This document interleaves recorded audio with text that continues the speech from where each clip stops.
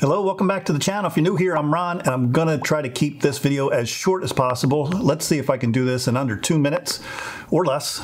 And here we go. The newest version of Photoshop came out earlier this week, and it's version 22.0, also known as Photoshop 2021 or the October release. Adobe released a ton of new features in this update, including neural filters and sky replacement. That's the one I'm going to talk about today. But I'm only going to address the one which I think I'm going to use the most. Again, it's the sky replacement, and it's absolutely great. And here's how it works.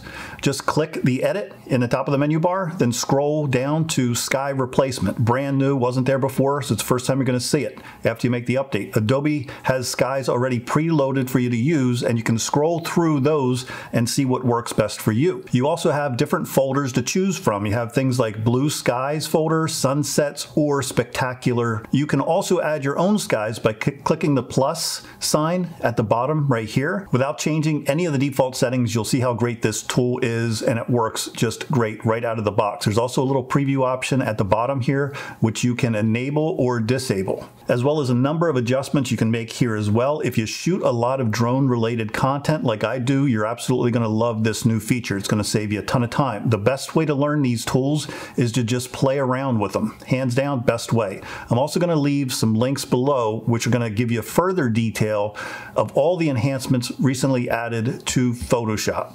And thanks for watching. Remember, if you got any value out of this video, please don't forget to give it a big thumbs up. It's always appreciated. If you're an active subscriber, I do thank you. And if you're not an active subscriber, please think about subscribing. So until next time, take care and stay flying.